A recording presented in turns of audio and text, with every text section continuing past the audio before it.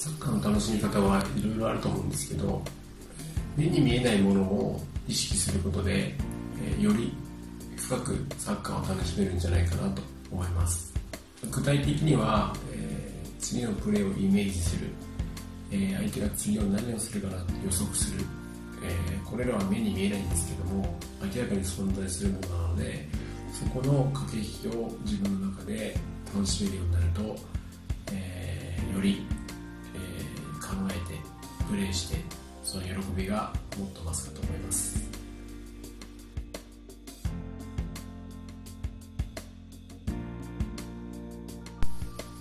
サッカーの神様は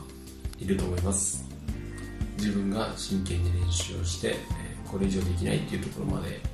頑張った時に実際に試合で自分ではない何かがこう宿っているような経験をしたことがたくさんあるからです。